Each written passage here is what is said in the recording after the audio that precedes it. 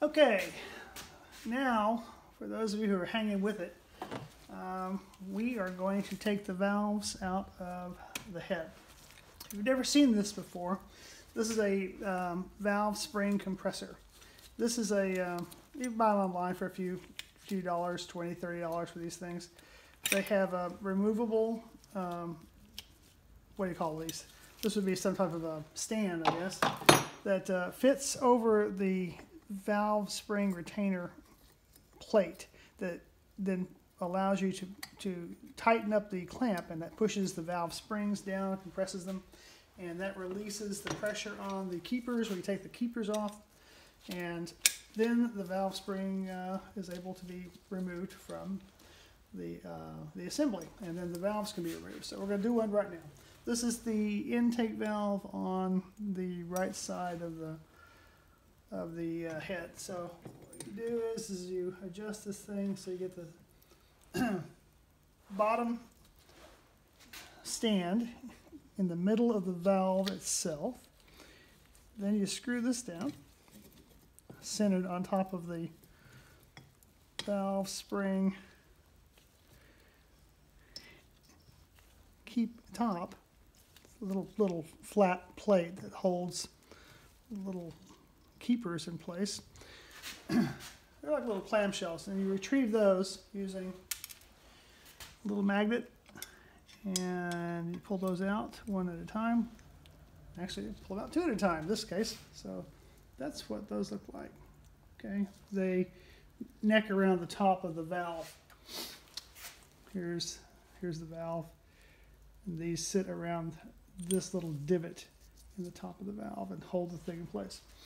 So, throw all your little parts in here.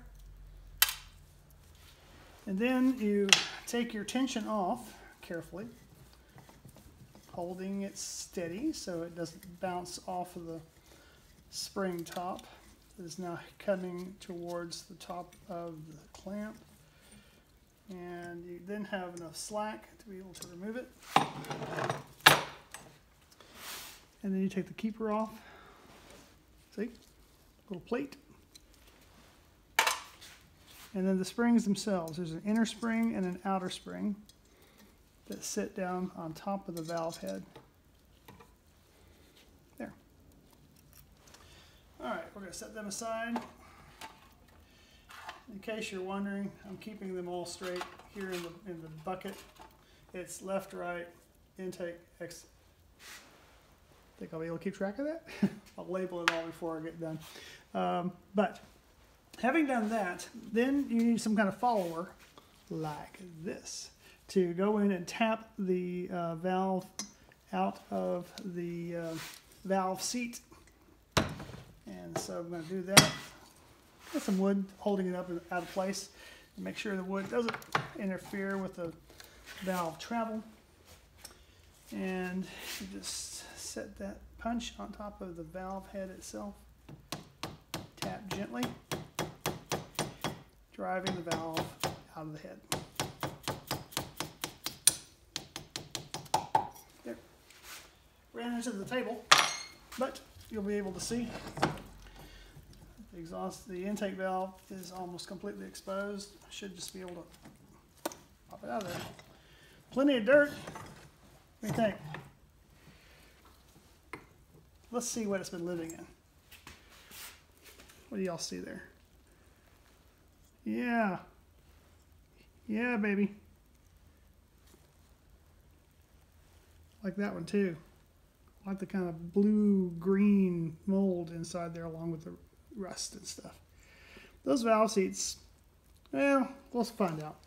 We'll find out as we go. And here's a close-up of the valve. Let's see, how's that?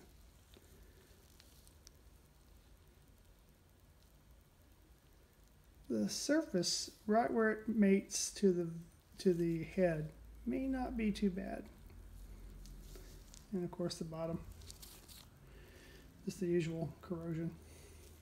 All right, we can clean that up later. So, what? Rinse and repeat. Let's do the exhaust valves.